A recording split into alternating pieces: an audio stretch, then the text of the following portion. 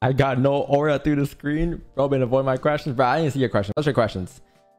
Um, you got no aura on the screen. It's crazy.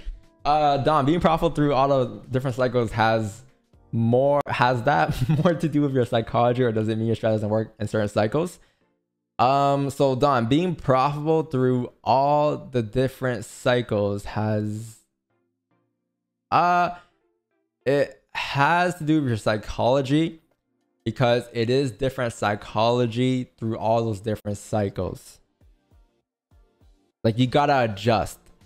Like when you trade, when you go through years of trading different cycles, chat, I've traded the cycle on gold four years already, right? So I have experience of doing it four times each cycle.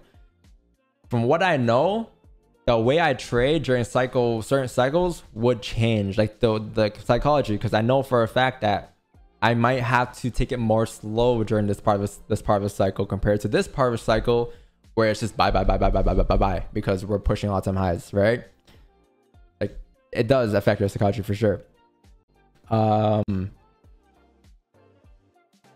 So it's not eh, eh, eh, you said, or does it mean your strategy doesn't work in certain cycles? Yeah. So like it's the same strategy. It's just that the strategy you need to add on different cycles to that strategy.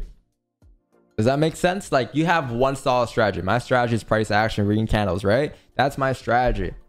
But the way I anticipate my plays are going to be different during a cycle one versus or quarter one versus quarter four on gold.